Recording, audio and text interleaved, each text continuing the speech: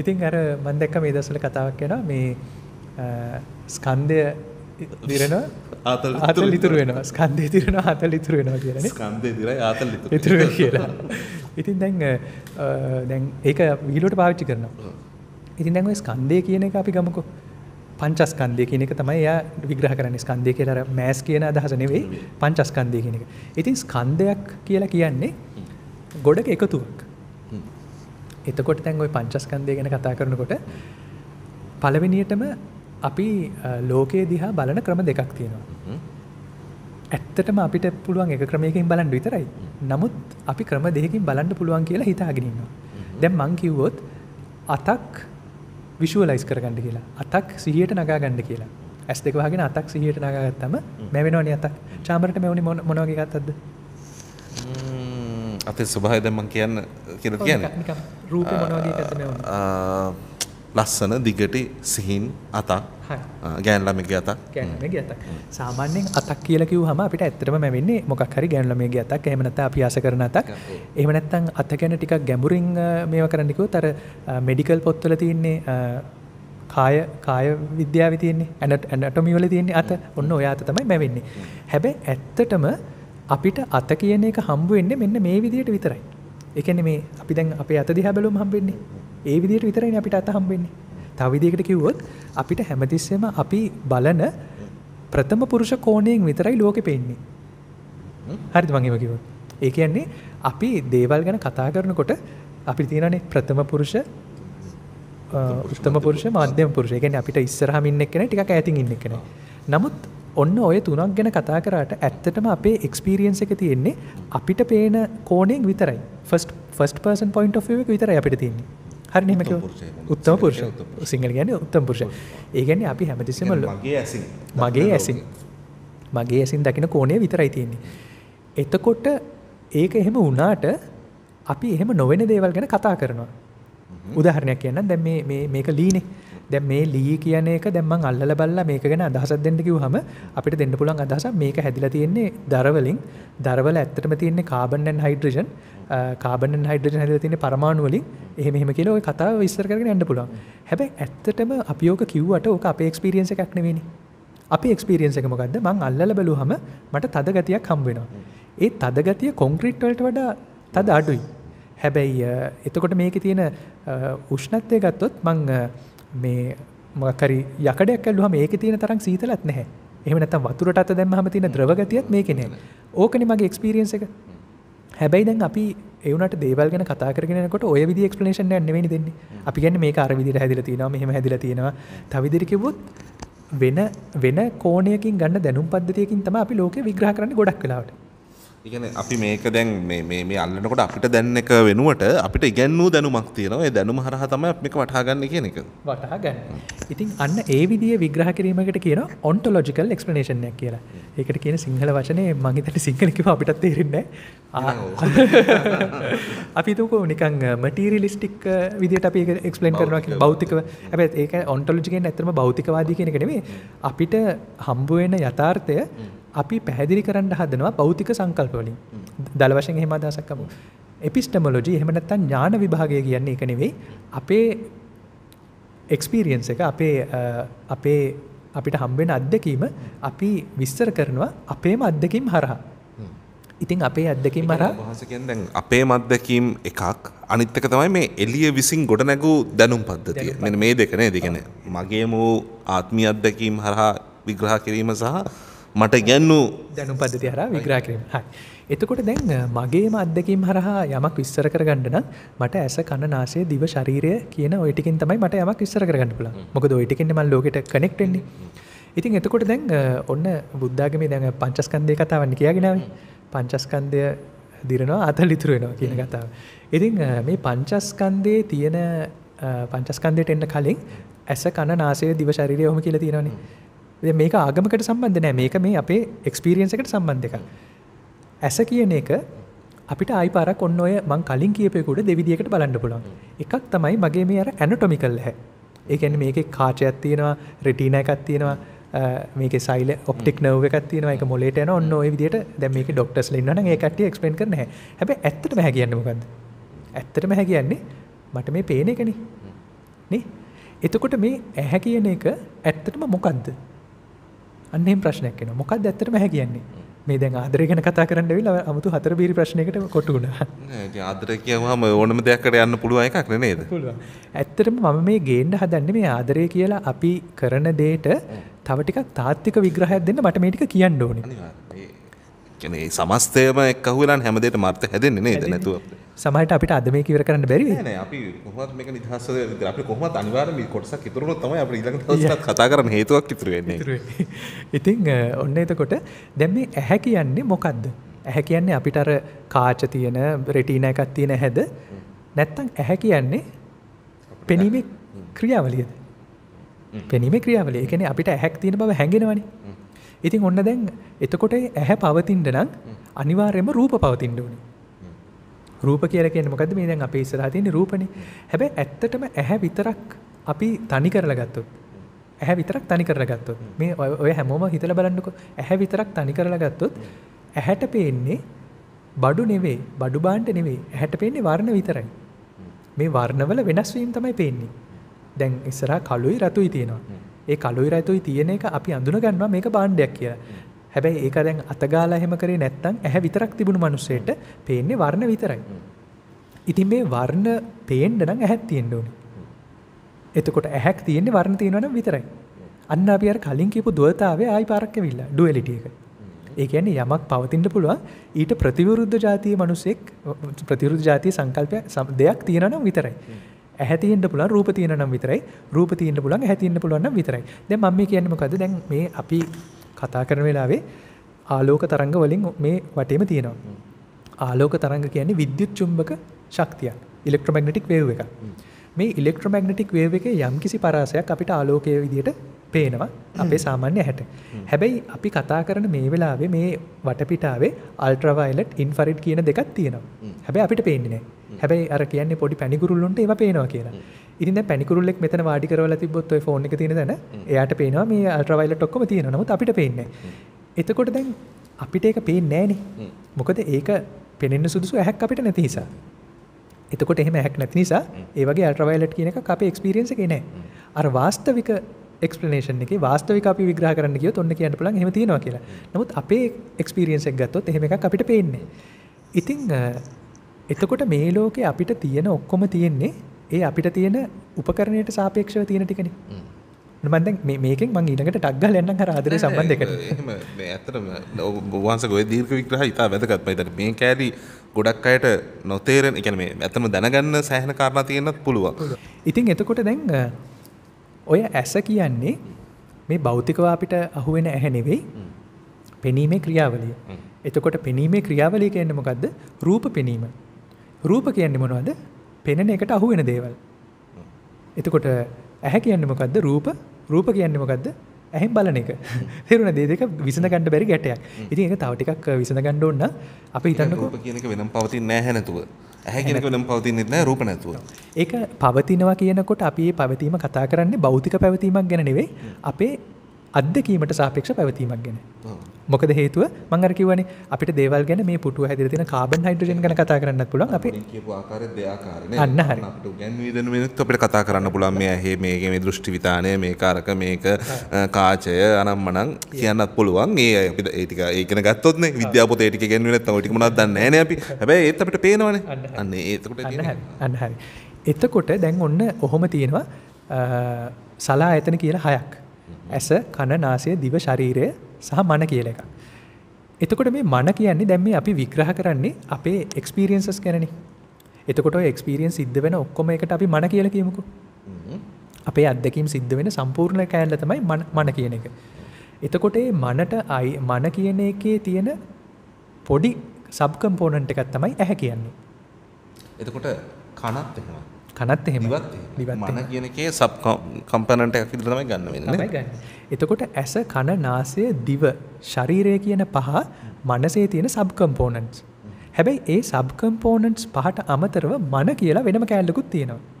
මම කියන්නම් ඇසට රූප ග්‍රහණය වෙනවා. එහෙම නැත්නම් රූප පේන්නේ ඇහැට ඇහැට පේනේවා තමයි රූප. කනට ශබ්ද ග්‍රහණය වෙනවා. නාසයට ගඳ සුවඳ, දිවට රස, කයට පහස. එතකොට මනට ග්‍රහණය වෙන ඒවට ධම්ම කියලා කියනවා. දැන් ආයි පාර මම මේක එක්ස්ප්ලেইন කරාට මේක එක්ක ඇකඩමිකලි ඉගෙන ගන්න පුළුවන් නැත්නම් අපිට භාවනාව තුලින් ඉගෙන ගන්න පුළුවන්. මේක දන්නේ නැත්නම් ඒක එක්ස්පීරියන්ස් එකේ කැලලක් නෙවෙයි නම් ඒක හිතන්න යන්න එපා අතහැරලා දාන්න. නමුත් මම දැනට නිකන් ඒ විස්තරේ කියාගෙන යනවා. දැන් මම නිකන් තව චුට්ටක් ඒක විග්‍රහ කරගන්න අහන්නම් දැන් මම ඔබ වහන්සේ දැක්කාම මම ඔබ වහන්සේ අඳුරන් අපි තුමු ඔබ වහන්සේ දැක්කාම මම දකිනවා ආ මේ හාමුදුරු කෙනෙක්. ඔබ මම හිතන්නේ දැන් ඔබ වහන්සේ අද අදයි මම ප්‍රථම වතාවට දකින්නේ කියලා. ඒත් මට වැටහෙනවා ඔබ වහන්සේ හාමුදුරු කෙනෙක්. ඒතර වහන්සේ හාමුදුරු කෙනෙක් කිව්වම මගේ ඇහැට පේන්නේ සමහරට වහන්සේ ඇඳන් ඉන්න ඇඳුම කහ පාට කහ පාට ඇඳුමක්. ඒතකොට අර ඔබ වහන්සේ කහ නොවන බවින් කහ වෙන් වුණාම මට පේනවා මේ කහ පාට කියලා. නැත්නම් කහ නොවන බවත් මම දැනගෙන ඉන්න එපා නේද? ඒතකොට කහ නොවන බව සහ කහ අතර වෙනස මන් දැනගෙන ඉන්නවා. දෙවෙනි එක ඔය ඇඳුමට සිවුරක් කියන්නේ කියන එක දැනගෙන ඉන්නවා. ඊළඟට ඔය සිවුරු අඳිනවා කියන්නේ සාමාන්‍යයෙන් බෞද්ධ භික්ෂූන්ගේ තමයි සිවුරු අඳින්නේ කියන එකක් දැනගන්න. දැන් මේ ටික ඔක්කොම ඇහැ වටහා ගන්න එකක් නෙමෙයිනේ. ඒක මේ මගේ වෙන පරණ දැනුමක් ඇසුරෙන් මම කියන්නේ ඒක මගේ සිතේ ක්‍රියාව දෙයක් නේ ඔය මන කියන එක සම්බන්ධ වෙන්නේ ওই ටිකට නේද? ඒ ටිකට අපි දැනට එහෙම ගමු. දැනට එහෙම ගමු. අපි පස්සේ වෙලාවක ඒක පොඩ්ඩක් වෙනස් කරමු. මොකද මේක කතා කරන්න ඇත්තටම භාවනා කරලා තිබුණොත් තමයි ඒක සමහර ඒවා අපිට තේරුම් ගන්න පුළුවන්. ඒ කියන්නේ රූප ධානය, අරූප ධානය කියලා දෙකක් තියෙනවා. ඇත්තටම මම අරූප ධානය කියන එක මාත් දන්නේ නැහැ මොන වගේද කියලා. මට නිකන් ඒ කියන්නේ හිතන්න පුළුවන් මේ වගේ කියලා. නමුත් ඒ අපිට දන්න ප්‍රමාණය උඩනේ අපිට කතා කරන්න පුළුවන්. එතකොට ඔන්න දැන් අර චාමර කිව්ව විස්තරෙත් එක්ක අපිට ඇහැට පේන රූප තියෙනවා. නමුත් ඔය ඇහැට පේන රූප රඳා පවතින්නේ අපේ තියෙන උපකරණේ නිර්වද්‍යතාවය උඩ. තව විදිහකට කිව්වොත් දැන් අපි ඇහැ කියන එක කණ්ණාඩියක් වගේ කියලා ගත්තොත් සමහර කණ්ණාඩි තියෙනවා ඉස්සරහට ගියාම පොඩි වෙලා පේන්නේ. සමහර ඒවා තියෙනවා ලොකු වෙලා පේන්නේ. ඒ කණ්ණාඩියේ නිල් පාට ටින්ට් එකක් ගහලා තිබුණොත් අපිට ඒ පින්තූරේ නිල් පාටට පේන්නේ. ඉතින් ඇත්තටම දැන් මේ ලෝකේ මොනවද තිබුණත් අපේ උපකරණය කියලා දෙන එකනේ අපි මේ බාරගන්නේ. හරිද එහෙම කිව්වොත් මොකද සමහර කට්ටියගේ උපකරණේ වයර් මාරු වෙලා කොළ පාට නිල් පාට වෙලා පේනවා. එතකොට එයා කියන්නේ ආ මේ තියෙන කොළ පාට ගෙඩියක් කියලා. බලනකොට ඒක ඇත්තටම නිල් පාටයි. නේ? ඉතින් ඒක ඕනනම් තවදුරටත් අඳුර ගන්න පුළුවන්. ඒක ඇත්තටම මේක විවිධත්වයන් තියෙනවා නේ. දෙක එක්ක අයට වෙන වෙන විදිහට පේන්නේ. අපි මේ එකම දේ වුණත් දකින්නේ කලර් බ්ලයින්ඩ්නස්. මම තව ගැඹුරු ප්‍රශ්නයක් ඉදිරිපත් කරන්න. දැන් මට මේ පේනවා තැඹිලි පාට. හැබැයි කවදාවත් කිසිම කෙනෙක්ට කියන්න බෑ මේ මට පේන තැඹිලි පාටම චාමරට පේනවා කියලා. කවදාවත් ඒක ඔප්පු කරගන්න බෑ. මොකද ඔයාට පේන අත්දැකීම් මට කවදාවත් මගේ අත්දැකීමක් වෙන්නේ නැහැ. හාමුදුරුවෝමයි දෙන්නම් මේකට තැඹිලි කියලා එකඟ වෙන්න පුළුවන්. හැබැයි ඒ තැඹිලි කියලා මන් දකින්න එක තැඹිලි පාටක් ඔබ වහන්සේ දකින්න තව තැඹිලි පාටක් වෙන්න පුළුවන්. සමහරට මේ චාමර රතුයි කියලා කියන පාටට වෙන්න පුළුවන් මම මේ තැඹිලි කියලා කියන්නේ. නමුත් අපි ඒක එකට ඇග්‍රී වෙලා කියනවා. නමුත් මගේ එක්ස්පීරියන්ස් එක කවදාවත් චාමරට තේරෙන්නෙත් නැහැ. චාමරගේ මට තේරෙන්නෙත් නැහැ. ඉතින් ඔන්න එතකොට දැන් මේ ඇහැ කියන්නේ ඒ වගේ උපකරණයක් ඒ උපකරණය හදලා දෙන ප්‍රසාද රූපය තමයි අපි දැන් මේ බලාගෙන ඉන්නේ. තව විදිහට අර කණ්ණාඩියෙන් එන රිෆ්ලෙක්ෂන් එක දිහා තමයි ඉන්නේ. ඇයි මම එහෙම කියන්නේ? මේ ලෝකේ ඉලෙක්ට්‍රොමැග්නටික් වේව්ස් කියලානේ ඔන්න මම දැන් ආයි භෞතික පැත්තට යනවා. හබල් දුරේක්ෂය කියලා එකක් තියෙනවා. හබල් දුරේක්ෂයෙන් එවනවා මේ විශ්වයේ තියෙන ගැඹුරු ආපාටවල කළු කුහරවල පින්තූර එවනවා. ඒක තමයි අර ක්ෂීරපතය කියන එකෙත් පින්තූරයක් ගත්තේ. ඉතින් මේ හබල් දුරේක්ෂය ඇන්ටනා තියෙනවා. ඒ ඇන්ටනා ග්‍රහණය කරගන්නේ ඉලෙක්ට්‍රොමැග්නටික් වේව්ස්. විද්‍යුත් චුම්බක ශක්ති. ඒවට පාටක් නැහැ. අපිට පේන්නේ අපි හිතමුකෝ හබල් දුරේක්ෂය ගිගාහර්ට්ස් 500ක තරංගයක් ග්‍රහණය කරගත්තා කියලා. එයා ඒක ග්‍රහණය කරගෙන ඒකට කියනවා හරි මම මේකට රතු පාට කියලා දාන්නම් කියලා රතු පාට දාලා පින්තූර දෙනවා. එතකොට අපි කියනවා මේ තියෙන ක්ෂීරපතේ මේක රතු පාටයි නිල් පාටයි කහ පාටයි තියෙනවා කියලා. නමුත් ඇත්තටම අපි බැලුවට අපිට ක්ෂීරපතේ එහෙම පේන්නේ නැහැ. හබල් දුරේක්ෂය කිව්වා අපිට මෙහෙම මේවා ග්‍රහණය කරා මෙන්න මේ විදිහට ඔයාලට දෙන්නම් කියලා. ඔන්න ওই විදිහට තමයි අපේ ඇහත් එක එක ඒවා ග්‍රහණය කරගෙන ඒ ඒක අපිට පෙන්නලා දෙනවා. ඒ පෙන්නලා දෙන එක අපි දැන් ඇත්තයි කියලා හිතන් බාර ගන්නවා. මම ඕක තව පොඩ්ඩක් ආයි කම්ප්ලිකේට් කරන්න. දැන් හිතන්න අපි මඩ කඩਿੱත්තක් දකිනවා. ඒ මඩ කඩਿੱත්ත දැක්කහම අපිට හිතනවාද මේක නිදා ගන්න පුළුවන් තැනක් කියලා.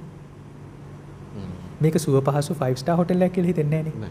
හැබැයි ඌරෙක් ඔය මඩ කඩਿੱත්ත දැක්කොත් එයාට පැනලා ඒක ආස හිතෙනවා. ඉතින් එතකොට මේ ලෝකේ තියෙනවා අපේ ඉන්ද්‍රියන් වලට ගෝචර වෙන රේන්ජ් එකක්. දැන් මේ ආලෝකය කියන්නේ වර්ණ කියලා කියන්නේ විද්‍යුත් චුම්බක ක්ෂේත්‍රයේ අපිට ඒ අහුවෙන රේන්ජ් එක. ඉතින් අපි ඒක තමයි මේ ලෝකය කියලා හිතාගෙන ඉන්නවා. නමුත් ඇත්තටම ලෝකෙ ඊට වඩා සෑහෙන්න පෘතුලයි. මේ සද්ද කියන්නකො අපිට ඩෙසිබල් හර්ට්ස් 20 ඉඳලා 24000 සද්ද ඇහෙනවා. නමුත් ඔయిత වඩා තව සද්ද ගොඩක් තියෙනවා. නමුත් අපිට ඇහෙන්නේ මේ ටික අපි කියනවා ඒකට ලෝකේ කියලා.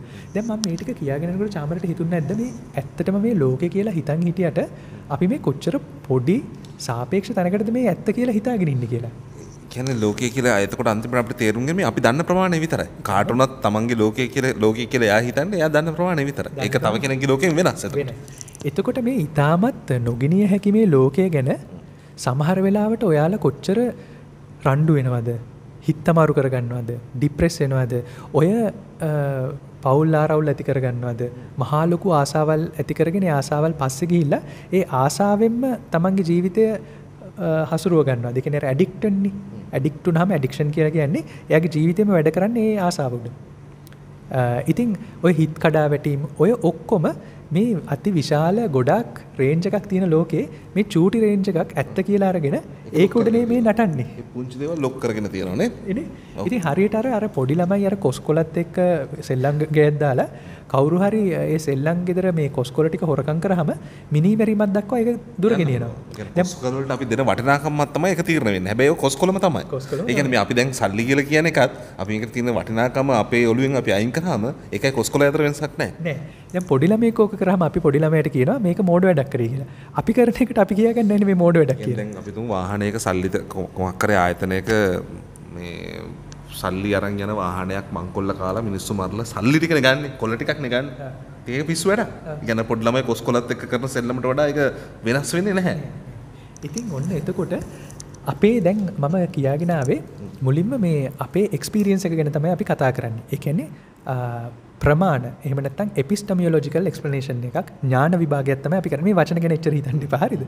මම කිව්වේ කවුට හරි ඕනනම් Google කරලා බලන්න ඉඳ. ඉතින් එතකොට මේ අපේ එක්ස්පීරියන්ස් එක ගැන අපේ අත්දැකීම ගැන කතා කරගෙන යනකොට අපිට අහුවෙන එක තමයි ඕක. ඉතින් මෙන්න මෙතනදී අපිට එක්ස්පීරියන්ස් එක කියලා ගත්තොත් මිනිහගේ පැවැත්ම කියලා ගත්තොත් ආනන්ද හාමුදුරුව කියලා ගත්තොත් ආනන්ද හාමුදුරුවන්ගේ පරණ කාලේ මතක සටහන්. ඉස්සර කාලේ මට වෙච්ච සිදුවිච්ච ඔක්කොම සිදුවීම් වල මතක. ඒ වගේම අනාගතයේ හෙට දැන් පොයේ ඉවර වෙලා හෙට කටින උත්සවේ පටන් ගන්නවා. කට වස් ආරාධනාව. කටින නෙවෙයි වස් ආරාධනාව. ඉතින් එදාට වෙන්න තියෙන වෙන්න පුළුවන් දේවල්. එතකොට මේ දැන් මම මේ චාමරත් එක්ක ඉඳගෙන ඉන්නකොට මට පේන පේන දේවල්. ඔන්න ඔය එක්ස්පීරියන්සස් ටිකනේ මගේ මුළු සමස්තයම හැදෙන්නේ. ඉතින් ඔන්න ඕකට කියනවා ස්කන්ධයක් කියලා. අර පංචස්කන්ධය කියලා කියන්නේ රූපය ඔය හීන ප්‍රනීත. කියන්නේ අපි කැමැති අකමැති. දුර ළඟ සන්තිකේ බාහිර අතීත අනාගත පච්චුප්පන්න. ඔන්න ඔය වගේ තියෙන ඔක්කොම ටික එකතු කරගත්තාම ඒකට ස්කන්ධයක් කියලා කියනවා. ඇග්‍රිගේෂන් එකක්. එකතුවක්. එකතුවක් ඇත්තටම. එකතුවක්. අනුකලනේ තියෙන අනුකලනේ වගේ එකතු කරලා ගත්තා. ඒකට තමයි අපි ස්කන්ධය කියන්නේ. දැන් මෙතන ඊළඟට කිව්වා පංචස්කන්ධය කියලා. මොකද්ද පංචස්කන්ධය? රූප වේදනා සංඥා සංකාර විඥාන. දැන් මේ වචන ගැන එච්චර හිතන්න මේපා පොඩ්ඩක්වත් මේ මම මේක සරලම විදියට තේරුම් කරලා දෙන්නම්. මේ පහෙන්ම අපි මේ කියන්න හදන්නේ අපේ පැවැත්ම පිළිබඳ අදහසක්.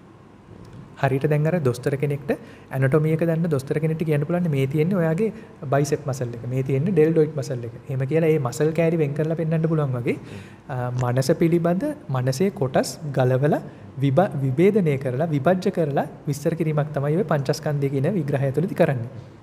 ඉතින් ওই පංචස්කන්ධය කියන විග්‍රහය මම මේක කියන්න මොකද මේක වැදගත් අපිට ඉස්සරහට මේ සාකච්ඡා කරගෙන යන්න. ඉතින් ඒ පංචස්කන්ධය ඔන්න තියෙනවානේ රූප වේදනා සංඥා සංකාර විඥාන. ඒකේ අපි ගමුකෝ සංඥා කියන එක.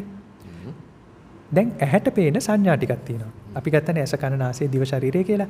ඇහැට පේන සංඥා ටික තමයි පාටවල වෙනස. සංඥාව කියන එකට ඉංග්‍රීසියෙන් කියන්නේ ඩිස්ටින්ක්ෂන් වෙනස් වීම. ඒ කියන්නේ යමකින් යමක් වෙනස් කර ඔයා කිව්වේ දැන් මේ තැඹිලි කොළයි වෙනස්නේ. තැඹිලි දුඹුරුයි වෙනස්. ඒ දෙකේ අතර තියෙන වෙනස තමයි සංඥාව කියලා කියන්නේ. එතකොට ශබ්ද සංඥාව මොකද්ද? අපි හිතමුකෝ අපි සාරීගාම වල සා ගහනවා. වයලින් එකෙත් ගහනවා, පියානෝ එකෙත් ගහනවා, ගිටාර් එකෙත් ගහනවා. ඒ තුනම සා වුණාට ඒ සා ಜಾති තුනක්. අපිට ඒක කියන්න පුළුවන්. ඒක තමයි අපේ සංඥා ඇදලා ගැනීමේ හැකියාව. එතකොට ඔන්න දැන් ඒ කනට නහයට මොකද දෙන්නේ? අපිට දැනෙනවා පුස් ගඳ වෙනම දැනෙනවා. ඇඹුල් ගඳ වෙනම දැනෙනවා. පර්ෆියුම් ගඳ වෙනම දැනෙනවා. ඔන්න ඒ තමයි නහයට දැනෙන සංඥාවල වෙනස. දිවට දැනෙනවා ලුණු රස, පැණි රස, තිත්ත රස, ඒ වගේ රසවල් ಜಾති දැනෙනවා. කයට දැනෙනවා යම් දෙයක් කොච්චර තදයිද? කොච්චර එහෙම නැත්නම් යම් දෙයක් කොච්චර හයියද නැද්ද? එහෙම නැත්නම් සුමුදුද නැද්ද? ඔන්න ඔය වෙනස අපිට දැනෙනවා. ඉතින් ඔන්න ඔය ආකාරයට අපිට දැනෙන සංඥා ටිකක් තියෙනවා. ඒ සංඥාත් එක්කම අපිට දැනෙන වේදනා තියෙනවා. දැන් වේදනා කියන්නේ මොකද්ද? මෙන්න මේ ඊටමත් අපිට පැටලෙන තැනක්. දැන් ඇහැට පේන්නේ පාටවල්නේ. දැන් මේ මං චාමර දිහා බලාගෙන ඉන්නකොට මම ඒක ගැන අර හිතන ප්‍රමාණය අමතක කරොත් චාමර කියන්නේ මිනිස්සෙක් එයාගේ රැවුල දිනවා ඒ ටික අමතක කරොත් මට මේ ඇහැට පෙනෙන පාට ටික විතරක් මං හිත යොමු කරොත් ඒ පාට ටික මට කියන්නේ මේ හොඳ චාමර කෙනෙක් හරි නරක චාමර කෙනෙක් හරි කියලා. එතන පාට ටිකක් විතරයි තියෙන්නේ. තව විදිහට ගත්තොත් ඇහෙන් අපිට දකින්න පුළුවන් රූපය ඒක උපේක්ෂා සහගත රූපයක්. ඒකේ හොඳක් නරකක් නැහැ. අලුතෙන් ගොඩනගන්න නෑ අපිට තීරණයකට එන්න බෑ ඒක හරහානේ. නමුත් අපේ මානසික ක්‍රියාවලිය කොච්චර වේගවත්ද කිව්වොත් එහෙම තීරණයක් ගන්නනවා. නමුත් මං කියන එක මේ ටිකක් ආටිෆිෂල් පොඩ්ඩක් හිතලා බලන්න දැන් මේ ඇහැට පේන්නේ රූප නම් රූප කියන්නේ පින් වර්ණ නම් ඇයි මම වර්ණ කියන්නේ දැන් ඔයාලට අපිව පේන්නේ ෆෝන් එක හරහානේ. දැන් ෆෝන් එකේ ඇත්තටම ওই තියෙන RGB pixels වලින් තමයි අපිව පේන්නේ. ඉතින් මේ පික්සල් ගැන වර්ණ ටිකක් පේන්නේ. හැබැයි ඔය වර්ණ ටික කිව්වට ඔයාලා කියන මේ ආනන්ද හාමුදුරුවෝ චාමරේ මේක ඉන්නවා කියලා. නමුත් ඇත්තටම පේන්නේ වර්ණ ටිකක්. මොකද ෆෝන් එකයි දීලා තියෙන්නේ වර්ණ නිෂ්පාදනය කරන්න පුළුවන් ඩිවයිස් එකක් ඒක ඉතින් ඒ වර්ණ ඇත්තටම නිියුට්‍රල් හැබැයි මම දැක්ක දැන් අර කමෙන්ට්ස් වල සාදුකාර දෙනවා. ඔයාලා ওই වර්ණ ටිකක් දිහා බලන් හිතෙන් හැඟීමක් ජනිත කරන් සාදුකාර දෙනවා. ඒක ඒක මම කියන එක මේ සමාජයේ හරි වැරද්ද ගැන නෙමෙයි මේක ගැන දාර්ශනික අදහස. ඒ කියන්නේ අර කමෙන්ට් එක දැක්කහම අපි හිතනවා ඒ සාදු තමයි කිව්වේ කියලා. ආයේ ගෞරවයක් තමයි දැක්කුවේ කියලා. මෙතන තියෙන යම් සංකේතයක්. සංකේතයක් තියෙනවා. ඔන්න එතකොට දැන් ඇහැට පේන වර්ණ උපේක්ෂා සහගතයි. කනට ආම්ප්‍රේ මම නතර පයින්නවා. දැන් අර සමහර තැන්වල මම දැකලා තියෙනවා දැන් හාට් වගේ දානවනේ අපි. ආදරය ප්‍රකාශ කරන්න දානවා. හැබැයි අපි හාට් එකෙන් දැන් දැන් මට කවුරු හරි හාට් එකක් එවනවා. මම ඒ හාට් එක හරහා කොහොමද මට වටහාගන්න බෑනේ හාට් එකේ තියෙන ආදරේ තරම. මොකද තියෙන හාට් එකම තමයි. ආදරේ ගොඩාක් උඩක් දාන්න තියෙන මේ හාට් එක ආදරේ පොඩ්ඩ උනක් දාන්න තියෙන ඒ ආදරේ කියන්නේ ඒ වගේ තමයි. ඒ කියන්නේ ඒකේ අර මේ අපිට තීරණ ගන්න කොටස. ඒක නෑ. ඒ රූපේ නැහැ නේද? ඒක අපේ රූපේ එහෙම එකක් නෑ. රූපේ තියෙන්නේ වර්ණ ටිකක් විතරයි. නමුත් අපිට අපේ මානසික ක්‍රියාවලිය ඔන්න ඔතනින් බ්‍රේක් ගන්න නවත්තන්න බෑ. ඒක ඉක්මනට ඊළඟ ක්‍රියාවලියට ඇදිලා යනවා. ඉතින් මේ වේගවත් ක්‍රියාවලියක් තමයි මේ පොඩ පොඩ අපි මේ ඇනලයිස් කරන්න යන්නේ. මේක ඩයිසෙක්ට් කරලා කෑඩි කෑලි කපලා විශ්ලේෂණය කරනවා. නමුත් ඇත්තටම අපිට එහෙම කරන්න අවස්ථාවක් හම්බ වෙන්නේ. ඉතින් ඔන්න එතකොට දැන් ඇහැට, කනට, නහයට, දිවට දැනෙන ඔක්කොම උපේක්ෂා සහගතයි. මේක දැන් එකපාරට කාට හරි පිළිගන්න බැරි වෙයි. එහෙම කොහොමද රසවල් වල ඇත්තටම හොඳ නරක කියලා එකක් තියෙනවනේ කියලා. කනට දැනෙන ශබ්දේ එක ගානකට වැඩි වුණාම කන පැලෙනවනේ කියලා. නමුත් මම මුලින්ම කිව්වා කන කියලා කියන්නේ මේ භෞතිකව හුවෙන කන ගැන නෙවෙයි. ඒක කයට අයිති කැලලක්. කන කියලා මම කිව්වේ ඇසීමේ ක්‍රියාවලිය. ඒකේ පැලෙන්න මුකුත් නැහැ. පැලෙන බෙරේ තියෙන්නේ කයේ. එතකොට කයට තියෙනවා හොඳ සහ නරක කියලා එකක්. මොකද ඒ කය කියන එකේ අපි භෞතිකව ඉන්න රේන්ජ් එකක් තියෙනවානේ. ඒකේ අපිට එක්ස්පෝස් වෙන්න පුළුවන් උෂ්ණත්වයක් සීතලක් තියෙනවා. ඒක තමයි අපේ භෞතික රේන්ජ් එක. කයට හොඳ සහ නරක කියලා දෙකක් තියෙනවා. උපේක්ෂා කියලාත් එකක් තියෙනවා. නමුත් ඉතුරු හතරට ඇස, කන, දිව, නහය. ඔය හතරට උපේක්ෂා සහගත අරමුණු විතරයි හම්බ වෙන්නේ. කයට එක වෙනස් වෙනවා කියලාද කියන්නේ? කයට එක වෙනස් වෙනවා. මොකද කයට අධික විදියට රත් කරගෙන ගියොත් මෙතන අපිට ඉන්න බෑ. ඒක නරක. අත ගන්න එක ඒකයි හිත හිත ඉන්න ඕනේ. ඕනේ. ආ මේ රස් දෙකක් අල්ලන් ඉන්න එක හරි නෑ වගේ හිතලා. හැබැයි ඇහැට එහෙම එකක් නෑ. හැබැයි දැන් දැන් මම දැකලා තියෙන අපිට සමහර ලාවට තියෙනවා සමහර තැන් ඉන්න අපිට එතන නහය තියාගෙන ඉන්න බෑ අපි කියනවා. කියන්නේ ඉන්න බෑ එතන නම් මට ටක් ගන්නවා. මොකද එතන ගඳ වැඩි. මිනිස්සු නහය වහ ගන්නවා. ඒක වෙන්නේ කොහොමද? ඒක වෙන්න පුළුවන්. දැන් එතකොට ඔතන දෙවිදියකට විදිහකට වැඩ කරනවා. දැන් උදාහරණයක් විදිහට මේ හෝමාගම අර එහා පැත්තේ තියෙන කුණු දාන තැනක්. සාමාන්‍යයෙන් වැස්ස දවසට ඕකෙන් හරි ජරා ගඳක් එනවා. නමුත් මේ ගඳ ආවම මිනිස්සු ගොඩක් අලුතෙන් ආපු කට්ටිය ඒකට ටිකක් නහය අකුලගෙන ඉන්නවා. නමුත් ඇත්තටම දැන් අපි ගඳ එන තැන්වල කුණු ගඳ එන තැන්වල කුණු ස්වරූපයක් තියෙන බව අපි සාමාන්‍යයෙන් දන්නවා. නමුත් ඇත්තටම ඔය ගඳ එන එක නිසා ඇතිවෙන කිසිම ශාරීරික බලපෑමක් අපිට වෙන්නේ නැහැ කියලා අපේ අරින්න දොස්තර හාමුදුරුවෝ කිව්වා. කියන්නේ ගඳ උඩ එන ශාරීරික බලපෑමක් නැහැ. ගොඩක් ගඳ හිටියා කියලා එහෙම අපිට සෞඛ්‍ය ලෙඩ වෙන වගේක් වෙන්නේ නැහැ.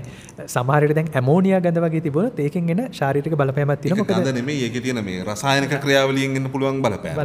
ගඳ ගඳ කියන්නේ ඒකේ ගුණයක් විතරයි නේද? ඔව්. මේකෙදි එහෙම එකක් වෙන්නේ නැහැ. නමුත් අර අපිට ඒක කරදරයක් කියලා අපි එතනින් ඈත් වෙනවා. මොකද සාමාන්‍යයෙන් ගඳ දැනෙන තැන්වල කයට සිද්ධ වෙන වෙන අතුරු අන්තරක් තියෙන හින්දා. ඉතින් මෙතනදී හොඳට දැනගන්න ඕනේ මේ ඇස කන නාසය කියන ටික මම වෙන වෙනම කෑලි ගලවලා කතා කරන්නේ. සාමාන්‍යයෙන් අපිට එහෙම හම්බෙන්නේ නැහැ. ඕකට කියනවා sensory disintegration කියලා. ඒ කියන්නේ මේ අපේ පංච ඉන්ද්‍රිය හැමතිස්සම එකතු වෙලා තමයි අපිට මේ රියලිටි අරන් දෙන්නේ. ওই ටික වෙන් කරොත් ඔය කියන තරම් ඔය ඔය රියල් ගතිය නැති වෙනවා. ඇහැට විතරක් සාපේක්ෂව කල්පනා කරලා බැලුවොත් කිසිම වින්තුරයක නරකක් හොඳක් නැහැ. ඇහැ විතරක් දාලා බැලුවොත්. කන විතරක් දාලා ඇහුවොත් කිසිම ශබ්දයක හොඳක් නරකක් එහෙම නැහැ. නමුත් කයට එහෙම එකක් තියෙනවා. මනසට එහෙම එකක් තියෙනවා. මනසට තමයි හොඳටම නරක සහ හොඳ තියෙන්නේ. හොඳ සහ නරක සුඛ සහ දුක කියන එක වැඩිපුරම තියෙන්නේ සැප සහ දුක කියන එක වැඩිපුරම තියෙන්නේ මනසට.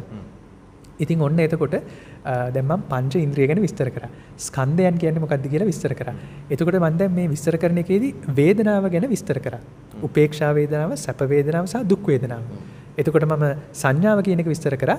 මේ එක එක දේවල් අඳුනගන්න පුළුවන් වෙනස් ගතිගුණ. ඒ කියන්නේ පාට අතින් ඇහැට සාපේක්ෂව රූපයට සාපේක්ෂව තියෙන සංඥාව.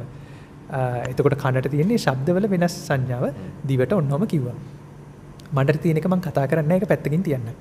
එතකොට ඊළඟ එකක් තියෙනවා සංකාරය කියලා. දැන් ඔය කියන්නේ අනිච්චාවත සංඛාරා, සබ්බේ සංඛාරා අනිච්චාති. ඔහොම සංකාර ගැන කියනවනේ. ඔන්න දැන් තුනක් කිව්වා. ඒ ඒ තුන මතක තියාගෙන ඊළඟ දවසේ අපිට ඒක බේස් එකක් විදිහට අරගෙන කතා කරන්න පුළුවන්. වේදනාව ගැන කිව්වා, සංඥාව ගැන කිව්වා. මම දැන් සංකාරය ගැන කියන්නම්. සංකාරය ගැන චාමර මං හිතන්නේ හොඳට දන්නවා ඇති. හරිද? සංකාරය කියන්නේ දැන් හිතන්නකෝ අපි ගමුකෝ හින්දි ෆිල්ම් එකක්. ඒ හින්දි ෆිල්ම් එකේ ඔන්න කොල්ලෙකුයි කෙල්ලෙකුයි කැන්ටිමට ගිහිල්ලා තේ ෆැන්ට එකක් බොන්න හදනවා. ෆැන්ට එකක් බොනකොට එයාලට එනවා ෆ්ලෑෂ් බෑක් එකක් අපි මුලින්ම මේ හම්බ වෙච්ච විදිය මේ කැම්පස් එකේදී. මේ අර කැම්පස් එකේ ඉස්කෝලේ යන කාලේ අර මේ දූවිලි ගහිච්ච සුදු ඇඳුම් ඇඳගෙන බස් එකේ එල්ලලා එනකොට ඔන්න හම්බුණා. ඊට පස්සේ එයාලට ෆ්ලෑෂ් ෆෝවර්ඩ් එකක් එනවා. එයාලා කසාද බැඳලා ළමයි හදලා ස්විට්සර්ලන්ඩ් වල මේ මේ ට්‍රැවල් කරන එකක් ඔන්න මතක් වෙනවා. දැන් ඔන්න ඔය තුන සින්දුවක සාමාන්‍යයෙන් තියෙනවනේ. ඔන්න ඔය තුන සින්දුවකට ගන්න විදිහ අපි කල්පනා කරලා බැලුවොත් ඔය තුන ලොකේෂන්ස් තුනක ෂූට් කරන්නේ. එතකොට දවස් තුනක ෂූට් කරන්න. මොකද ස්විට්සර්ලන්ඩ් එක වෙනම දවසක් ගන්න එපා.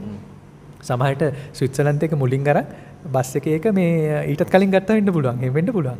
ඉතින් කොහොම හරි ඔන්න ඔය විදිහට ෂූට් කරපු තුන අර ඒ සංස්කරණය කරන එක්කෙනා එතන ඒක එලා ගන්නවා.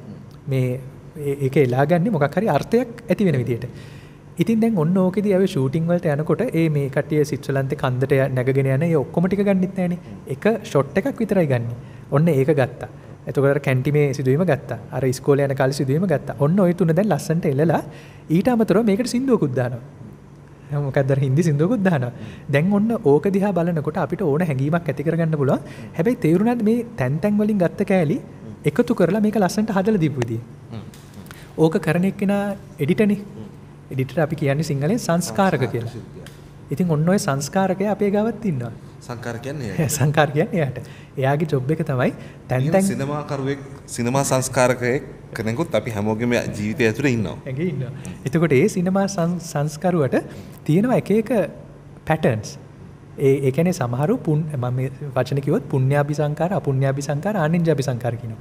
ඒ කියන්නේ මේ සිනමා කරුවට වැඩ කරන්න පුළුවන් එක විදි. ඒ කියන්නේ එයා පුරුදු වෙච්ච විදි. දැන් සමහරු හදන්නේ මේ කොමඩි චිත්‍රපටි විතරයි. සමහරු හදන්නේ තාත්වික අර අධිතාත්වික චිත්‍රපටි සයිෆයි ඒවා. සමහරු ඇඩ්වෙන්චර්. ඔය වගේ එක එක චිත්‍රපටි කරුවට අදාළව එක එක චිත්‍රපටි යාලා හදලා දෙනවා. ඉතින් අපි පුරුදු වෙච්ච සංස්කාර පැටර්න් එකට අනුව අපි සංස්කාර කරනවා. අපි හිතමුකෝ අපි තරහ යන සංස්කාරකයෙක් අපි ගාව ඉන්නේ කියලා. අපිට ලෝකෙම පේන්නේ තරහ යන මූඩ් එක ෆිල්ම් එකේ තමයි පේන්නේ. නරේෂන් එක හදාගන්නේ මේ විදියට. ඒ කියන්නේ දැන් අපි හිතමු උදාහරණයක් විදියට මට කාත් එක්ක හරි කෝපයක් නම් තියෙන්නේ මම දැන් මේ අසුරු කරන කවුරු හරි එක්ක. එයාගේ මුළු ජීවිතේ ඔක්කොම ක්‍රියාවලින් අර මට තරහ අවුස්සන කෑල්ල විතරක් මම එඩිට් කරලා ගන්නවා. මට අද අර වහන්සේ කිව්වේ කැන්ටි මේ කතා කරන ෂොට් දැන් අපි වුණත් දැන් අපි ඇත්තටම අපේ ජීවිතේ වුණත් අපි මතක් කරාම දැන් මගේ පරණ අතීත රසවත් සිද්ධියක් එහෙම මතක් කරාම සමහරට මං එයාට කවපු එක එහෙම නැත්නම් එයා මගේ මෙහෙම දෙයක් කියපු සමහරට මේ මුළු කතාන්තරේ නෑනේ සමහරට නේද? බස් එකේ ගියපු එකයි බස් එකෙන් බැස් එකයි කොන්දොස්තරට සල්ලි දුන්න එකයි ඊට සල්ලි ගත් එකයි ඔක්කොම මතක නෑ. හැබැයි අර එක මොහොතක නිශ්චිත මොහොතක අන්නාර අතර පාලම ගාව එයා මට මලක් කඩලා දුන්නා. අන්නේ මලක් කඩලා දුන්න ෂොට් එක තියෙනවා.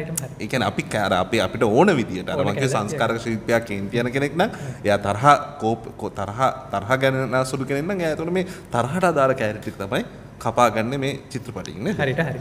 ඉතින් ඔන්න දැන් තම තමන්ට ලැබෙන සංස්කාරක ශිල්පිය ඒ අපිට දෙවියෝ දීපු එකක්මත් නෙවෙයි. එකන අපි හදාගන්න පැත්තකුත් තියෙනවා. අපිට හම්බෙන පැත්තකුත් තියෙනවා. ඉතිං මොකද දැන් මංහෙම කියන්නේ? අපිට හිතන හිතුවිලිවල ජාති දෙකක් තියෙනවා. එක ජාතියක් අපිට ඔටෝමටිකල හිතෙනවා. අනිත් එක අපිට හිතල වෙනස් කරගන්න පුළුවන්. ඉතින් ඔන්න ඔතනති මේ බුද්ධ දර්ශනය අන්ත දෙකට නොවැටි මැදින් ගමන් කරනවා. අපිට ලෝකය ගැන කියන්න පුළන් මේ සියල්ලම සිදුවෙන්නේ අපි කරපු කර්මයට අනුව කියලා.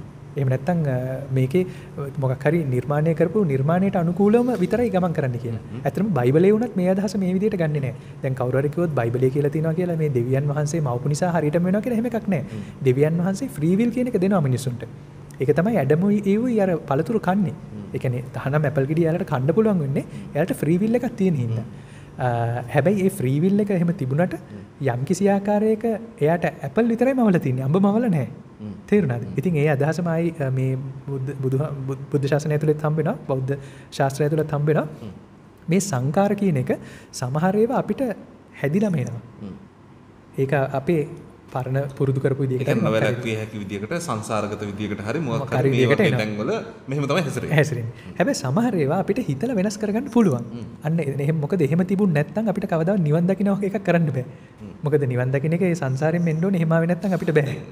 ඔබ වහන්සේ හරි වැදගත් තැනක් මේ මේ කිව්වා මේ මේ මම ඒ අතර මේ අපේ ඇත්තටම එක ප්‍රශ්නයක් යොමු වෙලා තියෙනවා මම හිතන්නේ මේ ප්‍රශ්නය අපි චුට්ටක් මම හිතන්නේ මේකට උත්තරයකුත් තියෙනවා වගේ එකකුත් මට දැනනවා අපි කතා කරමු එකම රූපයකට එක එක පුද්ගලයන්ට එක එක ප්‍රමාණවලින් දැනීම වේදනා ඇති වෙන්නේ කොහොමද? මෙතන අපි යම් විදිහට කතා කරා නේද? රූපය නම් එහෙම මේ උපේක්ෂා සහගතයි. හැබැයි වේදනාවේ පැත්තට එනකොට ඒකේ තියෙන හොඳ සුඛ වේදනාව දුක්ඛ වේදනාව එහෙම එහෙම ඔබහසට මේක තවමන හරි ඇතරම අපිට රූපය කියලා කියනකොට අපි මෙතන පොඩ්ඩක් වෙන්කර ගන්නනි රූපය කියලා කියන්නේ මේ අපිට ඇහැට සාපේක්ෂව පේන එක විතරයි කියන එක ගත්තොත්. ඒ විදිහට විතරක් ෆෝ මේ ගත්තොත් ඕ ඇසට සාපේක්ෂව පෙනෙන රූපේ එහෙම හොඳ නරක කියලා එකක් නැහැ පින්තූර ටිකක් විතරයි පෙන්නේ. හරියට දැන් ඔය ඔයාලගේ මොබයිල් ෆෝන් එකේ සමහර වෙලාවට දැන් මේ බණ කතන්දරයක් ආදරය ගැන සාකච්ඡාවක් යනවා සමහර වෙලාවට ඕකේ පොඩි ළමයින්ගේ අර මේ ෂාක් සෝන් එක දාලා තියෙනවා.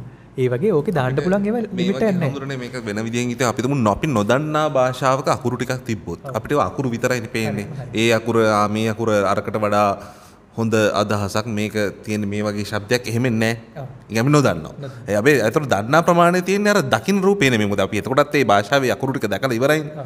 නේද? හැබැයි අපි ඒ අකුරු ගැන වෙන අපිට අවබෝධයක් තියෙනවා නම් ඒ වචන ගැන වෙන අවබෝධයක් තියෙනවා නම් මේක කුණුහරුපයක්. මේක හොඳ වචනයක්. මේ අම්මට කතා කරන්න මෙහෙම. මේක ශිෂ්ට සම්පන්න භාෂාවේ වචනයක්. ඔන්න ඔහොම අපි දන්නවනම් ඔන්න අපිට ඒකට බර තැබීම් තියන්න. ඒ වගේ? ඒ වගේ හරියටම හරි.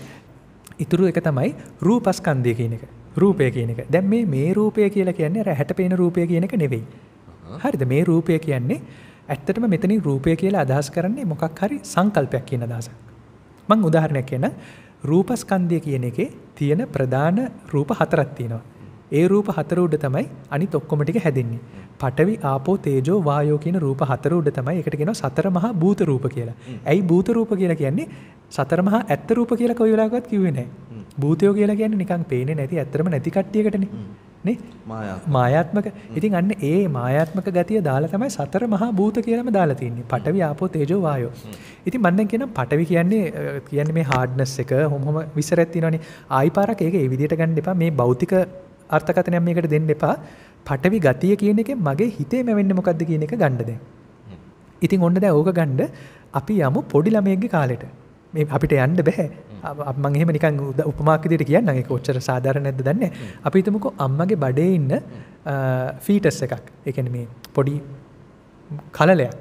කලලේ දැන් විකසනය වෙන ගමන් ඉන්නේ. ඔන්න ඔය කලලය තද තැනක් කලල නැහැ තාම. මොකද එයාට හම්බෙන්නේ අර ඇම්නියොටික් ෆ්ලුයිඩ් එක තියෙන වතුර විතරයි. ඒ මොකද අම්මගේ බඩේ තියෙන වතුර ටික තියෙනවනේ.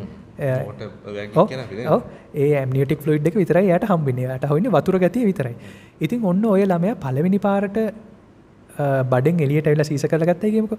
අරන් කොට්ටේක උඩ තිබ්බහම අන්න එදා තමයි එයාට පළවෙනියටම තද ගතියක් තේරෙන්නේ ලෝකේ. තේරුණාද? ඉතින් එතකල් අපිට තද කියන සංකල්පයක් අපේ හිතේ තිබුණේ නැහැ. ඔන්න පළවෙනි පාරට තද කියන එකක් මගේ ඔලුවට වැටුණා. දැන් මම ඒකට තද කියන වචනේ එහෙම එකක් මේව කරන්නේ නමුත් මගේ ඔලුවට යනවා යම්කිසි තද ගතිය පිළිබඳ සංකල්පයක් අදහසක්. එතකොට ඒ අම්මලගේ බඩ ඇතුළේ ඉන්න ළමයි සාමාන්‍යයෙන් සෙල්සියස් 37 රෙගියුලේටඩ් උෂ්ණත්වයක ඉන්නේ. මොකද බොඩි ටෙම්පරේචර් එකනේ බබත් ඉන්නේ. පළවෙනි පාරට එයා සාමාන්‍ය රූම් ටෙම්පරේචර් එකේ තියෙනවා. අපි හිතමුකෝ 25යි කියලා. එතකොට එකපාරට මේ අංශක 13ක් විතර පහළට බැස්සම එයාට තේරෙනවා ආ මේ උෂ්ණත්වය කියලා එකකුත් තියෙනවනේ කියලා. අන්න තේජෝ ගතිය යාට මුලින්ම දැනෙනවා. එයා බඩේ ඇතුළේ ඉන්නකල් එයා ඉන්නේ හුස්ම ගන්නේ නැතුව මොකද ඒක ලංස් වැඩ කරන්නේ අර පළවෙනි හුස්මත් එක්ක එයාට තේරෙනවා පිම්බෙන හැකිලෙන ස්වභාවයකුත් ලෝකේ තියෙනවනේ කියලා. වායුමය ගතියක් වායෝ ස්වභාවයක්. ඇතරම වායෝ කියන්නේ ගෑස් කියන නෙවෙයි ගෑස් කියන අපිට අහුවෙන්නේ නැහැ නේ නමුත් මේ ගෑස් එකේ තියෙන පිම්බෙන හැකිලෙන ස්වරූපයක්. අර බැලුම වගේ. ඉතින් මේ හුස්මත් එක්ක එයාට ඒ සංකල්පයත් පහළ වෙනවා. ඔන්න ඔය ප්‍රධාන සංකල්ප හතර උඩ එයා තව උපප්‍රධාන සංකල්ප 23ක් හදා ගන්නවා ඔන්න ඔය ඔක්කොම සංකල්ප 27 තුලින් තමයි මේ හාමුදුරුවෝ වටාපත මල් පෝච්චිය කියන ඔක්කොම ඉතුරු සංකල්ප ටික හැදිලා තියෙන කියන එක තමයි මේ මේකේ තියෙන විග්‍රහය. විග්‍රහයක් නේද දැන් ඒක නේ රසායන විද්‍යාව අර ආවර්තාවක වගේ මේක ටිකක් ඇත්තටම ගත්තයින් පස්සේ එහෙම ගත්තයින් පස්සේ මේ දේවල් වටහා ගන්න මම කියන්නේ සංඥා විදිහට මේවල් වටහා ගන්න එක නිකම්ම වෙන්නේ නැහැ මේක මේ ලොකු සංකීර්ණ ක්‍රියාවලියක් ඇත්තටම මේක තියෙනවා මම ඒකේ දෙක තුනක් කියන්න. ඉත්ති ඉන්ද්‍රිය පුරුෂ ඉන්ද්‍රිය කියලා දෙකක් රූප විදියට විග්‍රහ කරනවා. ඒ කියන්නේ ස්ත්‍රීය සහ පුරුෂයා කියන රූප දෙකක්. නම් ආයි පාර රූප කියලා කිව්වම මේ පේන ඉමේජස් ගැන නෙමෙයි කතා කරන්නේ මේ සංකල්පික රූප ගැන. ඇත්තම මේ අදහස මම නිකන් කාට හරි හොයලා බලන්න ආස හිතුනොත් බලන්න ප්ලේටෝ ලියලා තියෙනවා පොතක් ෆෝම්ස් කියලා. ඒ පොතෙත් මෙන්න මේ සමාන අදහසක්ම ප්ලේටෝ ලියලා තියෙනවා. ඉතිං ෆෝම්ස් කියලා කියන්නේ රූප කියන එක ෆෝම්ස් කියන එක ඉතින් මේ ස්ත්‍රී ඉන්ද්‍රිය කියන මේ රූපය ගත්තොත් දැන් අපි ඔන්න දැන් අර පොඩි ළමයා දැන් ඩිලිවර් කරලා කොට් එකේ ඉන්නවා එතනින් එයාගේ තාත්තත් තිබිල බලනවා අම්මත් තිබිල බලනවා. අම්මා ගෑනු තාත්තා පිරිමි. හැබැයි ওই පොඩි එක්කෙනාට මේ පොඩි එක්කෙනා අපි හිතමුකෝ ඇස්සරලා පේනවා කියලා. අපි එහෙම හිතමුකෝ. එයාට ඔය ස්ත්‍රී පුරුෂ කියන එකක් එයාගේ ඔලුවට යන්නේ නැහැ නේ. හැබැයි එයාට මොකක් හරි එකක් පේනවා. නමුත් ඒකට වැලියු එකක් ආම නැහැ. අදහසක්. අදහසක් නෑ අර්ථ ගන්නවා ගන්න බෑ. ඉතින් ඔය පොඩි එක්කෙනාට මව සහ පියා කියන එක ඔන්න අපි හිතමුකෝ මාස 6 දී යන්තමට අඳුරගත්ත කියලා. ස්ත්‍රී සහ පුරුෂ දෙකේ වෙනස. කොහොමද එයා දන්නේ? පුරුෂයා ටිකක් ලොකුයි. එයා ටිකක් රළුයි ළමයාව හැන්ඩල් කරන විදිය. මව ඊට වඩා සෙනෙහවන්තයි මේ සොෆ්ට් එහෙම ආදරේ තියෙනවා අන්න එහෙම. එයායි කටහඬත් වෙනස් එහෙම. හැබැයි දැන් ඔය පුරුෂයා සහ ස්ත්‍රිය පිළිබඳ තමන්ගේ හිතේ ඇතිවෙච්ච ඔය සංකල්පික අදහස අවුරුදු 13 වෙනකොට ගොඩක් වෙනස් වෙලා. එතකොට ස්ත්‍රිය සහ පුරුෂයා අපි වෙන විදියකට දකින්නේ. ඔන්න අවුරුදු අ, 20 වෙනකොට ලිංගිකත්වය ඔවත් එක්ක තවත් වෙනස් විදියකට දකින්නේ. අවුරුදු 40 වෙනකොට තවත් වෙනස් විදියකට දකින්නේ. දැන් දැක්කද මේ රූපස්කන්ධය වෙනස් වෙගෙන ගිය විදිය. ඒක නියතව තියෙන එකක් නෙවෙයි. ඕක මරණ කල්ප වෙනස් වෙවි ඉස්සරහට ඇදිලා යනවා. නමුත් අර අපි පොඩි කාලේ ඔන්න ඕක නො- නොතිබිච්ච වෙලාවක් තියෙනවා. දැන් එතකොට කාට හරි අහන්න පුළුවන් වාස්තවික ප්‍රශ්නයක්. ඒ කියන්නේ මටීරියලිස්ටික් ප්‍රශ්නයක්. ඒ කියන්නේ ගැහැණු සහ පිරිමි පොඩි ළමයා පොඩි කාලේ හිටියද නැද්ද කියලා. ඕකට තියෙන වාස්තවික උත්තරේ තමයි මටීරියලිස්ටික් උත්තරේ තමයි ග- මව සහ පියා ගැහැණු සහ පිරිමි කියන දෙක පොඩි ළමයා පොඩි කාලෙත් හිටියා. නමුත් පොඩි ළමයාගේ එක්ස්පීරියන්ස් එකෙන් ඕක අහලා බැලුවොත් පොඩි ළමයා පොඩි කාලේ ගැහැණු සහ පිරිමි හිටියද කියලා නෑ එහෙම හිටියේ නෑ. එයා ලොකු වෙගෙන යනකොට තමයි ගැහැණු සහ පිරිමි කියන එක ආවේ. ඉතින් ඔන්න ඔය වගේ මොකද මං එක පුංචි ළමයෙක් මේ අහපු ප්‍රශ්නයක් මට ඔබවහන්සේ ඔක්කේ දුන්නා ඒ තමයි මේ ළමයා ඇහුවා මේ ඔයා පිරිමි ළමයෙක් තමයි මං තාම ගෑනු ළමයෙක්ද පිරිමි ළමයෙක්ද කියලා මං තාම තීරණය කරලා නැහැ ඒ වයස කීයක් විතර ළමයි? අපේ අග්‍ර මේ අවුරුදු අවුරුදු 10ක් 10ක් හැබැයි මේ ප්‍රශ්නය ඇහුවේ මීට අවුරුදු දෙකකට විතර ඉස්සරහ අවුරුදු 8ක විතර වගේ වයසේදී ඒක පණ ඉතින් මං තාම ඒක තීරණය කරලා නැහැ ඒ කියන්නේ නෑ ඇත්තටම දැන් පොඩි කාලේ අපේ එක්ස්පීරියන්ස් එක ගත්තොත් අපිට අපි ගැහැණුද පිරිමිද කියන එක තේරෙන්න ගත්ත එක කාලයක් තියෙනවනේ. ඊට කලින් ඒක ඇත්තටම අපිට අදාළ නැහැ. ඉතින් ඒක තමයි ඔය රූපේ ඉපැත්ම. ඒ රූපය කියලා කියන්නේ සංකල්පික ඉපැත්මක්. ඔන්න දැන් අපි මේ මේ ඕ- ආයි පාරක් මේ පංචස්කන්ධය ගැන කතා කරන්නේ මේ මනසේම තියෙන පැතිකඩවල් පහක්. එකම දේ මේ එකක් නැතුව අනිත් එකට පවතින්න බෑ. මේ පහම එකට විතරයි කතා කරන්න පුළුවන්. නමුත් අ, සාකච්ඡාවේ පහසුවට මම කෑලි පහකට අ, ඒ ටික කතා කරා. අ, රූප කියන එක තමයි දැන් මේ කතා කරේ. ඒ- ඒ රූප කියන එක කතා කරන්න මට වේදනා සංඥා සංකාර කියන ටික ඕනේ. ඒක නැතුව මට රූප ගැන කතා කරන්න බෑ මම උදාහරණයක් කියන්නම්. දැන් පොඩි ළමයෙක් අ, අපි හිතමුකෝ මේ අ, සිවුර කියන එක දැන් චාමර දන්නවා. මේ සිවුර බෞද්ධ භික්ෂුන් අඳින අ, තැඹිලි පාට පූජා කරපු සිවුරක් කියන එක දන්නවා. නමුත් මේක පොඩි කාලේ අපි දැනගන්නේ කොහොමද? අපිට ඕක කවුරුත් කියන්නෙත් නැත්නම් අපිට ඕක දැනගන්න පුළුවන් එක ක්‍රමයයි තියෙන්නේ. පොඩි ළමයි සාමාන්‍යයෙන් මොකක් හරි අඳුනගන්නේ මුලින්ම ඔබලා බලලා. ඔබලා බලලා ඊට පස්සේ කටේ දා ගන්නවා. ඒ කියන්නේ එයා කයෙන් ඒක වි- විඳලා බලනවා. කයෙන් එන සංඥාව වේදනාව විඳිනවා.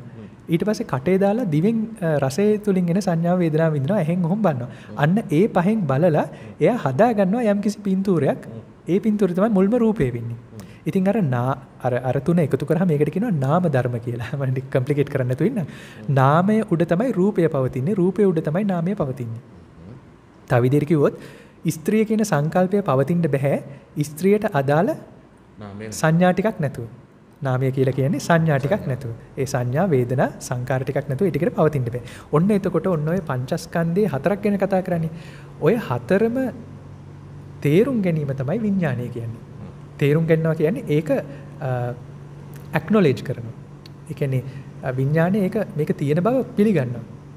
ම තවිදිරි කියන්න දැන් අපිට යම් කිසි දෙයක් දැනෙන එකයි දැනෙන පුද්ගලෙක් ඉන්නවනේ දැනෙන පුද්ගලයා සහ දැනෙන දෙය එකක්ද දෙකක්ද කියලා ඔන්න හිතලා බලන්න පුළුවන්. මේකට භෞතික උත්තරය ගත්තොත් නෑ දැනෙන දේ වෙනම එකක් දැනෙන පුද්ගලයා වෙනම එකක්. නමුත් අපේ එක්ස්පීරියන්ස් එකක් ගත්- ගත්තොත් මේකේ තියෙන මේක දැනෙන පුද්ගලයා සහ දැනෙන දෙය දෙකම එකම කෑල්ලක්. ඒ ඔක්කොටම තමයි මනස කියලා කියන්නේ. නමුත් අපේ විග්‍රහයේ පහසුව පිණිස අපි ඒක වෙන් කරගත්තා. දැන් මේ ස්ක්‍රීන් එක දිහා බලන්න මේ ස්ක්‍රීන් එකේ හාමුදුරුවොත් ඉන්නවා ස්ක්‍රීන් එකක් තියෙනවා. ස්ක්‍රීන් එක කියන්නේ ඕක දැන් ෆෝන් එක ඕෆ් වුණාම එන කළු පාට එක තියෙනවනේ. පින්තූර ටිකක් තියෙනවා. ඔය දෙකම එකක්ද දෙකක්ද කියලා හෙව්වොත් අපිට දැන් උත්තරයක් දෙන්න බෑනේ. නමුත් අපිට ඒක විග්‍රහ කරනකොට නෑ පින්තූර තියෙන කියන එක වෙනම පින්තූර විදිහට කතා කරන්න පුළුවන්. ෆෝන් එකේ තියෙන ස්ක්‍රීන් එක වෙනම ස්ක්‍රීන් එක විදිහට කතා කරන්න පුළුවන්. නමුත් ඇත්තටම අපේ මනසේ ওই ස්ක්‍රීන් එකයි ස්ක්‍රීන් එක උඩ පෙනෙන දෙයයි දෙකම එකක් ඇත්තටම. නමුත් අපේ විස්තරේ පහසුව පිණිස ඔන්න ඔය ඒක අඳුන ගැනීමේ ස්වභාවය විඥානය කියලා කිව්වා. ඒ අඳුන ගන්න දේවල් ටික ඔක්කොම රූප වේදනා සංඥා සංකාර කියලා කිව්වා. ඔන්න ඕක තමයි පංචස්කන්ධය. ඉතින් ඔන්න ওই පංචස්කන්ධය දිරනවා ආතල් එකක් දිරනවා. මේ අපිට තව මහිතන විනාඩි දෙක තුනක් වගේ කාලෙක අපි මේ කතාව පොඩ්ඩක් ඉවර කරමු. මම පොඩි කෙටි දෙයක් අහන්නම් දැන් ඔබ වහන්සේ ඔය ඔය කියපු කතාව දැන් දැන් ඔය බෞද්ධ විග්‍රහය ඒ කියන්නේ පංචස්කන්ධය පිළිබඳ සහ විශේෂයෙන්ම ඔය මේ දන් දැනෙන දේ සහ හැඟෙන දේ. කියන්නේ පේනන දේ සහ වටහා ගන්න ආදී.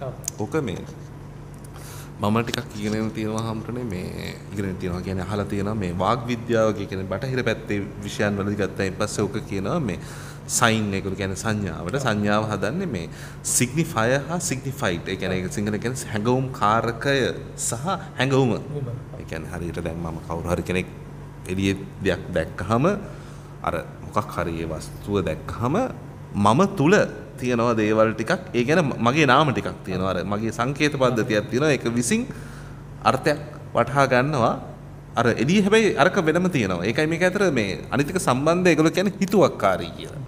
කියන්නේ හිතුවක්කාරී කියන්නේ ඒක උදාහරණයක් ඒ තියෙන එකෙන් මට මේ මේ එක ඒක උඩ මම ගත්තට සම්පූර්ණයෙන්ම මට ඕන විදිහට තමයි මම මේක මගේ අත්දැකීම් ප්‍රමාණය අනුව මට හගන්නේ. මේ මේ කතා දෙක අතර යම් නිකන් ඉතාමත් ගැඹුරු සම්බන්ධයක් තියෙනවා මොකද අයිපාරක් භාවනා නොකරපු කෙනෙක්ට අවිතක්ක අවිචාර කියන එක දන්නේ නැති එක්කෙනෙක්ට එයා මුළු ජීවිතේම හිතලා තියෙන්නේ වචන ආශ්‍රිතව. ඒ සං දැන් අපි හිතන්නේ එක්ක සිංහලෙන් නැත්නම් ඉංග්‍රීසියෙන් මොකක් හරි භාෂාවක් ආශ්‍රිතවනේ.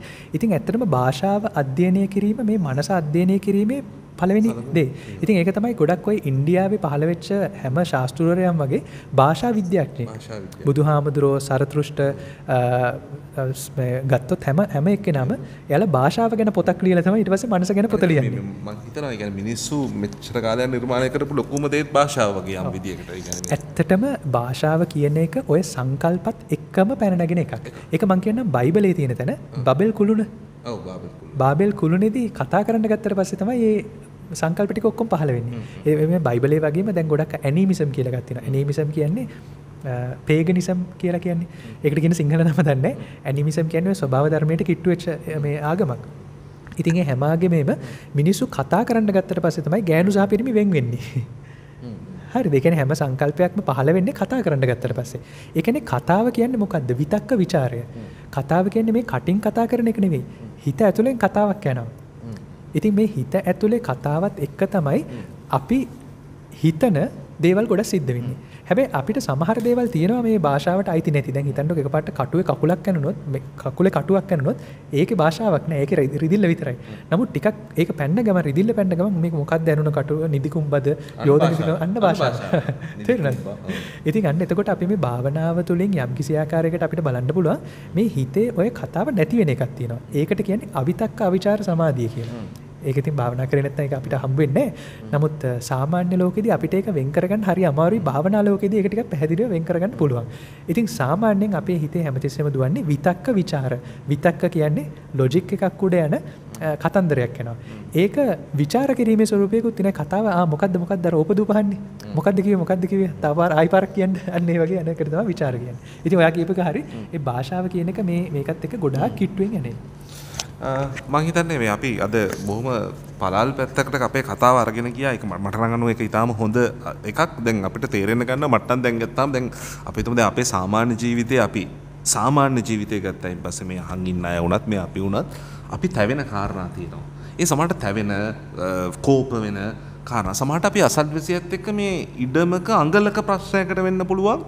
නඩු කිය කිය වද විඳ විද මිනිමරාගන්න ලෑස්තවෙන්ටක පාරම්පරික දැක්කත් මූුණ බලන්න ඇතුව සමහට සමහට දිගි දිගට දැක්කාම එකන ඒ අල්ලපු ගෙතර මනුසය තමන්ගේ ජීවිත ඉන්නකම ලොකුම තමන්ට වෙච්ච ලොකුම දුෂ්ටකම ඒ මනුසයාගේ මුණ දකිනක වෙන්න පුළුව සමට ඇත්තක තියන් රණ්ඩුව අංගලක හැබ විශ්වය මාර විශාලය. ගැන අංගලක ඉඩ අංගලකට රණ්ඩුවෙන්න්න තරන් දෙයක් එක නෑ එතකොට ඒ වගේ ගත්තයින් පස්ස අපි හැමවෙලාටම අනිත් දේවල් ගත්තා. තැවෙන ඇලෙන කාරණාපි දුක් වෙන වද වෙන කාරණා ගත්තයින් පස්සේ අර අපි එක ගොඩාක් ලොකුයි කියර හිතන් හිටියට ඒවයි තියෙන අන්තිම පුංචි සරල කාරණා. මොකද ලෝකය ඊට වඩා සෑහෙන්න අපි අපි අධ්‍යයනය කරන්න ගත්තත් හොයල බලන්න ගත්තත් විග්‍රහ කරගෙන ගන්න ගත්තත් ඒක බුදු දහම වෙන්න පුළුවන් එක බයිබලය වෙන්න පුළුවන් එක ඉස්ලාම් දහම් වෙන්න පුළුවන් එක බටහිර දර්ශනයක් වෙන්න පුළුවන්. මොකක් හෝවේවා කියන මොනවාහරි ගත්තයින් පස්සේ මේක අපිට මේකම දිහා එක එක විදිහට බලන්න ගත්තාම එකෙන් තව විෂයක දිහා ඉඳලා බලව ගත්තාම අර දැන් අහසේ තරු ගැන හොය ඉන්න මිනිස්සෙට ආ පැත්තේ ඊටම දැන් මගේ මගේ කැමැත්ත තියෙන්නේ අහසේ තරු විඳින එක නම් අල්ලපු ගෙදර මනුස්සයා මේ කිව්වා කියලා මේ පොඩ්ඩක් මේ වැටේ මත මේ පොඩි ප්‍රශ්නයක් තියෙනවා කියලා මේ ඉතින් අපි තීරණය කරන්න ඕනේ වැටද අපේ ජීවිතේ වැට යංගලද නැත්නම් අහස තරු එක් අපි ජීවත් වෙනවද කියන එක මම හිතන අපිට තීරණය කරන්න පුළුවන්. ජීවිතේ විශාල කර ගැනීමේ හෝ කුඩා කර ගැනීමේ ආයි ඒ තීරණය තියෙන්නේ මම හිතන්නේ අපි සතුවම තමයි නේද? මම හිතන්නේ අපි අද කතාව මෙතනින් හමාර කරමු.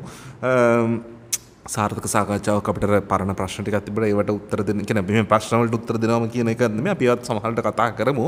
අපි මම කියන්නේ මේ නිදහසේ මේ කතාව අරගෙන යමු නේද? අපිට මේකම ඔව්. මම එකක් එකතු කරන්න අවසාන වශයෙන් අපි අර කතා කරන ප්‍රශ්න ඔක්කොටම උත්තර මෙතනින් හම්බ වෙනවා ඒක හරිම වක්‍රාකාරයෙන් හම්බෙන්නේ එකම දේ. ඒකට පොඩ්ඩක් ඉවසන්න ඕනේ චුට්ටක් වෙලා ගන්න දෙයටම ජීවිතේ මම හිතන්නේ තියෙන එකම දේ තමයි මේ අපිට ඉවසන්න වීම. කියන්නේ අපි මම හිතන්නේ නේද? අපේ ජීවිතේ දැන් දුක වුණත් ආවහම අපිට තියෙන ප්‍රශ්නේ ඒ දුක්බර මොහොත දුක එන්න පුළුවන් අපේ ජීවිතේ. අපි දුක් සිතුවිලි එනවනේ. දුක්බර මොහොත ඉවර වෙනකන් ඉවසන්න බැරිකමනේ අපිට ගොඩාක් වෙලාවට තියෙන්නේ. ඉතින් මෙතන බුදුහාමුදුරුවෝ කියනවා කන්ති පරමන් තපෝති තික්කන් නිබ්බානම් වදන්ති පරමන් බුද්ධං කියලා.